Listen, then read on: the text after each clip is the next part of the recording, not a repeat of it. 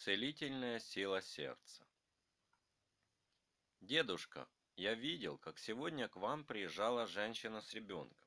Вы же, только взглянув на малыша, о чем-то рассказывали его маме. Это было так непродолжительно, но она улыбнулась, поблагодарила и ушла. Вы что, не сможете помочь ребенку? Похоже, ты стал внимательней. К тому же твой вопрос подсказывает нам тему сегодняшней беседы. Я рассказывал матери маленького мальчика о том, каким образом она сама способна помочь своему чаду спокойно спать по ночам. Разве человек без особой подготовки может лечить? А почему нет? У этой молодой мамы очень горячее и доброе сердце. А знание? Разве одной теплоты сердца достаточно? Для того, чтобы помочь своему ребенку, достаточно. Что же вы ей посоветовали? Всего-навсего правильно стирать и сушить одежду малыша. И этого может быть достаточно для лечения? Если правильно распорядиться своей любовью, то вполне достаточно. Любящая мать способна так исцелять, как не способен ни один из целителей. И даже лучше вас, дедушка. И даже лучше меня. Но если заболеет муж этой женщины или ее мама, способна ли она их исцелить? Если их любит, то да, способна. А если не любит? Если нет любви, или хоть немного сочувствия, никакого эффекта не будет.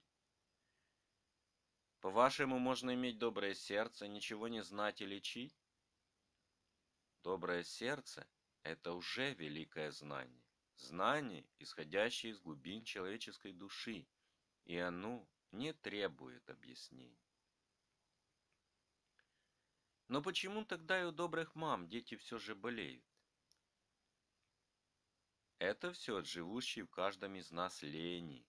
Мамы не выполняют разумных правил ухода за своими детками. В чем же тогда заключаются эти правила ухода? В общем, универсальном смысле это осознание всех наших производимых действий, а более конкретно в приобретении опыта делать работу ради самой работы, и тихонько, легонько проводить по ходу своей работы тоненькую серебряную нить искреннего и благородного замысла. В данном случае машинная стирка одежды должна быть заменена ручной стиркой, сопровождением этого процесса состоянием любви к работе и желанием иметь здоровых детей. Ох, как это все запутано. Что-то я этого не улавливаю, дедушка. Хорошо, скажу немного понятнее. Когда ты коснешься языком батарейки, она тебя ущипнет. Когда в морозную погоду влажной рукой возьмешься за металл, он тебя привяжет. Вот так же одежда, которая стирается нашими руками, набирает на себя заряд человека и записывает не только его силу, но и его чувства, а также и его мысли. Сила уходит сравнительно быстро. Чувство оставляет более глубокий след, а вот мысль, она остается, видимо, навсегда. Теперь понятней? Начинает проясняться дедушка. Это действительно очень интересно. И так просто, и так непросто одновременно. Слушай дальше. Очень важно для тебя осмыслить услышанное и найти подобные аналогии в окружающем. Когда стирает машина, она всего лишь очищает одежду. Стирка же руками, как я уже говорил, оживляет ее.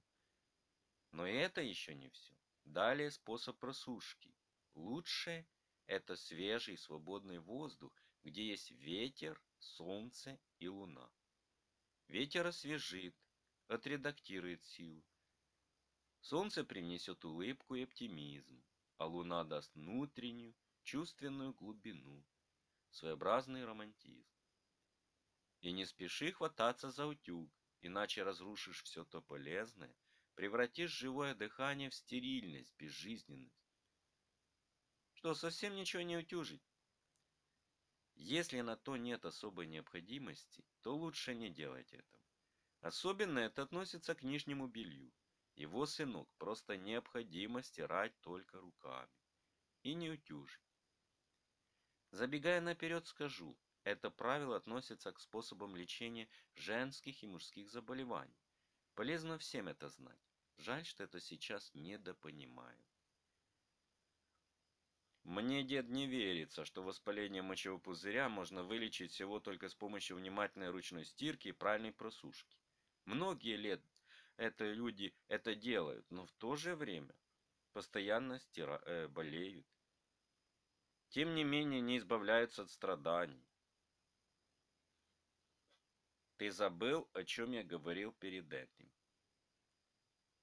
Я просто не успеваю все переварить в себе, дедушка. Ты сказал, что многие следят за собой и продолжают болеть. Позволь мне с этим не согласиться. Много ли людей следят за собой так прилежно? К тому же, а я это уже говорил, мало только выполнять физически, нужно еще уметь свое физическое действие сопровождать внутренним удовлетворением от стирки.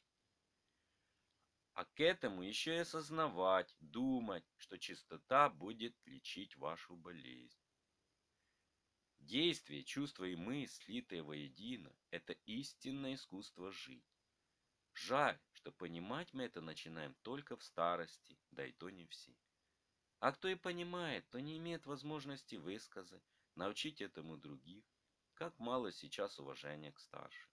Впрочем, сами старшие в этом и повинны. Надо учиться высказываться так, чтобы было понятно. Могу ли я, молодой, соединить эту троицу в себе? Спрашиваешь, можно ли стать мудрецом молодости?